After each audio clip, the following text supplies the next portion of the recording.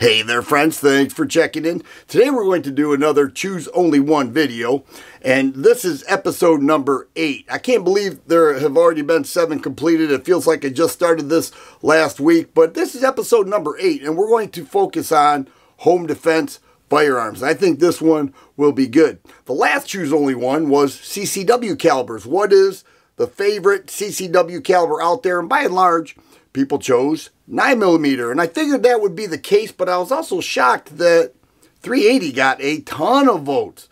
Those micro 380s that fit so easily in the pocket, they say, you know what, I just throw that in the pocket, I don't worry about it, I'm always armed, and I get that mindset, especially in those warmer states. You know, it, it gets it gets hot, and they're in gym shorts. 357 SIG, I was called out on that. They said, you know, you offered a lot, but you didn't offer 357 SIG. And I, I get that. It's a great round. I don't currently have one or a handgun in 357 SIG, but I understand that round is phenomenal. I used to have a Glock 32. I shot that a lot, but the ammo was so expensive.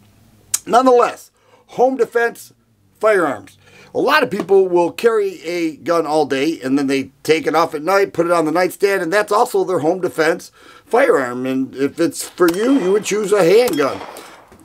Full size, subcompact. This is Springfield Armory Hellcat.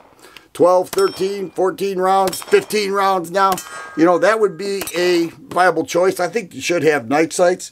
Some people carry a revolver and they say, you know what, I'll go with the revolver. I'll sacrifice the rounds to get that 357 Magnum or whatever, you know, 38 Special Plus P. That would be cool. Is it a shotgun? Let's start with this one. Here's a Remington Express Tactical Remington 870 Express Tactical. Very cool shotgun. It's got that door breacher choke on there. Nice sight system. It does have a rail.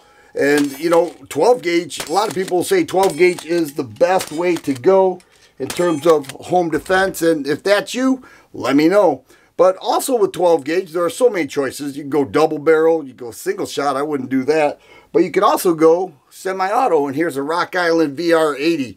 Gained a ton of popularity. It also has a 5-round mag, but 9-round and 19-round mags are available with the 2 and 3 quarter inch load. So is it a semi-auto shotgun that is your choice? How about a an AR pistol? Here we have a CMMG Banshee. This is chambered in 5.7 by 28 millimeter. The mags carry 40 rounds, and that is some serious firepower. This has a 5-inch barrel, very compact, all right? So a lot of options here. It would be extremely loud indoors. I would, I will tell you that. That would be extremely loud. You might blow the kids' ears out, you know. I mean, something worth considering. Is it a rifle? Some people may choose a rifle, and if that's your choice, certainly let me know. Rifles are great. I don't know if it's a home defense carry uh, firearm, but a lot of people would use that. One of the things that a lot of people may go with would be something that everybody in the house could use. And here we have a Mossberg Bantam. It's a youth model. It's chambered in 410, but they also make this in 20 gauge. And once again, you know, it it lacks capacity. This has a three round capacity, but everybody in the house can use it, and the recoil is extremely low with 410 and 20 gauge depends on the load, but you know, if you practice, you can get the job done. I think a very popular choice throughout the years, and I think that one that a lot of people have come to know and love in terms of home defense are these shorty firearms.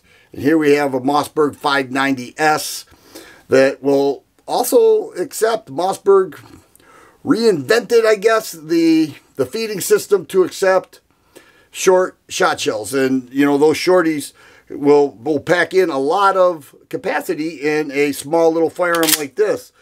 Or you can, you can mix it up.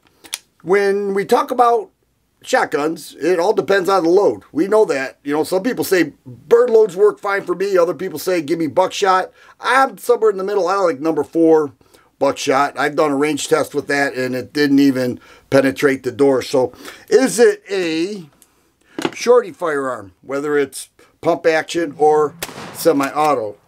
I do not fall in the mindset that all you have to do is go like this and your intruder is going to take off running. I don't buy that one bit. I think that's a, a fallacy.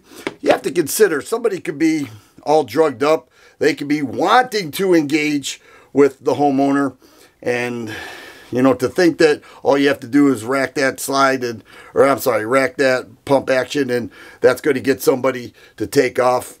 Uh, you know, it, it may work, it may not. You always have to plan for the worst case scenario.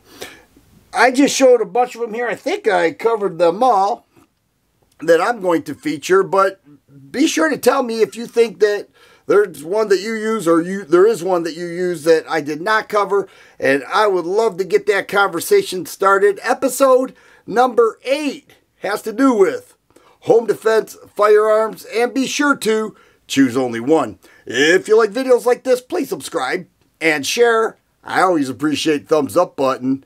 Thanks for watching and you guys be safe.